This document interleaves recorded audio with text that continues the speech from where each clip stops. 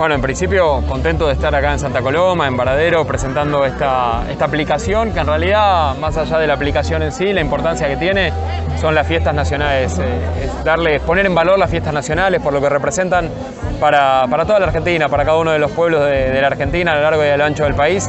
Esas fiestas expresan no solamente la identidad, sino que tiene un impacto económico directo sobre cada uno de, de esos, de, esos, de esos pueblos, porque Imagínate que yo recién decía cuando me tocó hablar, ¿no? Cuando lo que sucede ese día específicamente repercute en la economía de todo el año. Todo el pueblo se prepara durante todo el año para lo que sucede ese día. Y además una temporada particular, porque la pandemia seguramente le va a dar mucha, una posibilidad mucha, a muchos destinos turísticos de ser visitados por argentinos y argentinas que otros años elegían irse afuera, irse a veranear a otros países y esta vez la pandemia los va a obligar a quedarse acá y a disfrutar de lugares que tiene la Argentina que son maravillosos y que por ahí eh, todavía no han sido puestos en valor o, o, no tienen la promoción suficiente. Tenemos que trabajar en eso, del Ministerio lo estamos haciendo. Y el lanzamiento de, bueno, de, de que la gente pueda recorrer la Argentina y ahora con la posibilidad de, de, utilizar esta aplicación para compartir también desde su casa, ¿no? Cuidándonos siempre. Absolutamente, absolutamente.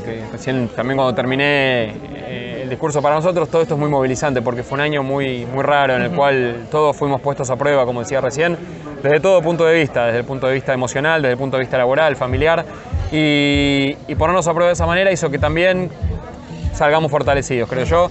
Pero, pero lo que no nos tenemos que olvidar es que estamos en plena pelea con, con, el virus todavía, que estamos viendo lo que pasa en Europa, en otros países de la región con el rebrote, así que tenemos que tener mucho cuidado, cuidarnos mucho entre todos, porque esa es la forma de que tengamos turismo, de que tengamos fiestas nacionales, de que volvamos a encontrarnos con nuestros seres queridos. Muchas gracias. ¿eh? A ustedes, por favor.